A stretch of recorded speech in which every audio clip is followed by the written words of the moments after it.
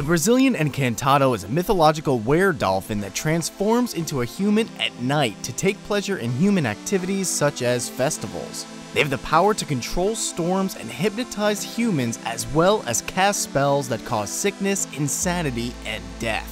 The were-dolphins also seduce beautiful women and impregnate them before returning to the river to become dolphins once again.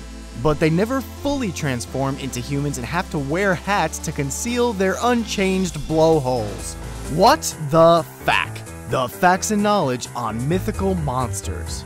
Kraken are legendary sea monsters believed to live in the waters off the coasts of Norway and Iceland that attack ships. It's said that they wrap their arms around the ship, capsizing it, drowning, or eating the crew. The Kraken was brought to the attention of the masses in the Natural History of Norway written by the Bishop of Bergen, who collected the stories of fishermen said to have encountered it. In reality, it's suspected that the Kraken may be linked to the giant squid, which is 40 to 50 feet in length and have reportedly attacked ships.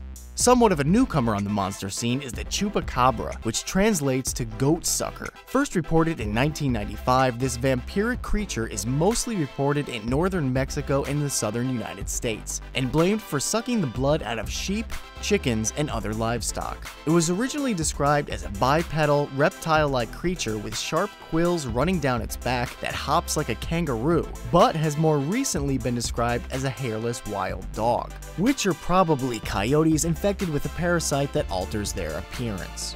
No evidence of the Chupacabra's supposed victims actually being drained of their blood has ever been found. The Mongolian deathworm is said to inhabit the southern Gobi Desert in Mongolia. Witnesses claim it's bright red with a thick body and 2 to 5 feet in length, with the ability to spew deadly acid and electrocute its victims from a distance with an electrical discharge. It's also believed that touching any part of the worm causes instant death. While scientists note that acid spraying and huge worms are found in nature, they're dubious of the electrical discharge claim and despite several investigations, the Mongolian deathworm has yet to turn up. The concept of men transforming into wolves or lycanthropy dates back to ancient Greek mythology. The term has been linked to the story of Lycaon, who was turned into a wolf as punishment by Zeus. Some authors believe that the werewolf legends were used to explain serial killings, where victims appeared to be brutalized. One famous instance being Peter Stump, an alleged German serial killer executed in 1589 known as the Werewolf of Bedburg. Although modern researchers have tried to link ailments such as rabies and hypertrichosis to werewolf origins, these are not believed to have had significant, if any, influence on the legends. Loup Garou is the French version of the werewolf, but has a distinct and more frightening difference. The ability to switch between human and wolf form at will with no dependence on the moon cycles that the more popular werewolf follows. Bigfoot is a giant ape-like creature believed to live in the forests of North America's Pacific Northwest. The name Bigfoot came into popularity in 1958 when footprints were found in California and cast into plaster. The story was published and picked up by the Associated Press and the name caught on. The hunt for evidence proving the existence of this 6 to 10 foot hairy humanoid creature includes a recently published and highly questionable study claiming evidence of Bigfoot's DNA. Giant footprints are often used as proof but turn out to be hoaxes and Bigfoot supporters believe the creature to be a remnant of Gigantopithecus, the largest ape that ever lived at almost 10 feet tall, whose fossils are found in Asia. But while the scientific community discounts the existence of Bigfoot, the legend of a giant ape-like creature is found in many cultures all around the world.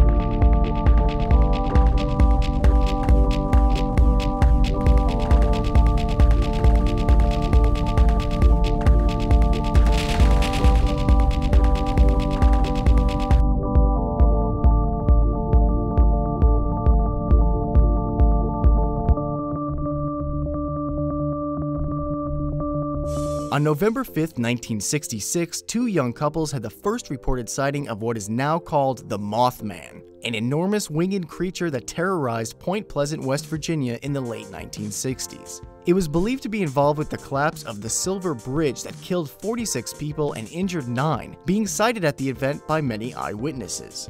Between 1966 and 1967, over 100 people claimed to have seen the creature, all reporting it standing around 7 feet tall with bat-like wings and red eyes. After the bridge collapsed, there were only a few sightings of Mothman and then it quietly disappeared.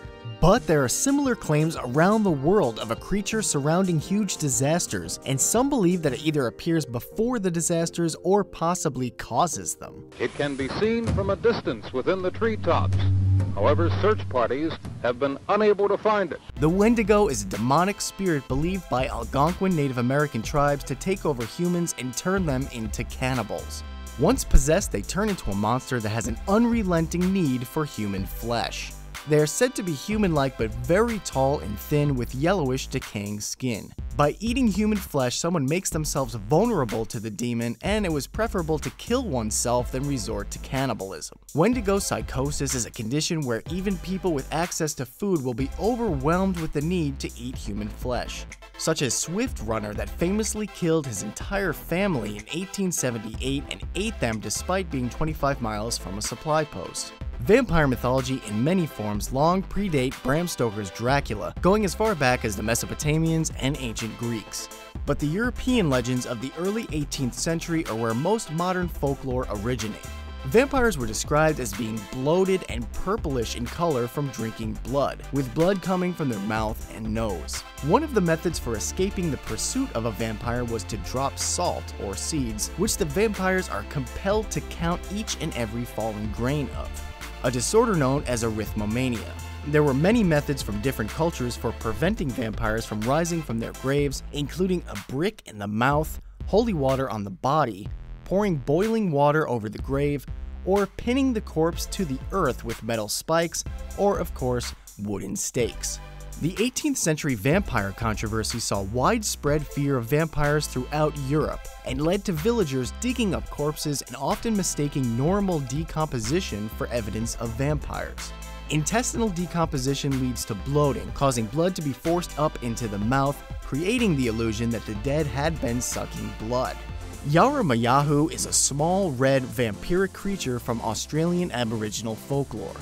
He's around 4 feet tall with a large mouth with no teeth and suckers on the ends of his toes and fingers to stick to his victims and suck their blood out. He doesn't hunt for food, rather he waits in trees for an unsuspecting person to walk by, drops down onto them, drains their blood, but leaves them with enough to stay alive.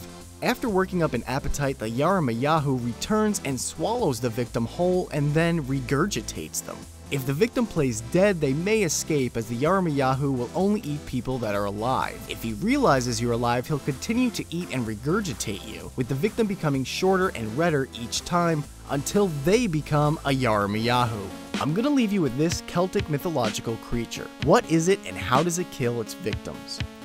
Before we go, here's last video's winner. Leave your answers in the comments below, be sure to subscribe for more facts and knowledge, and as always, thanks for watching.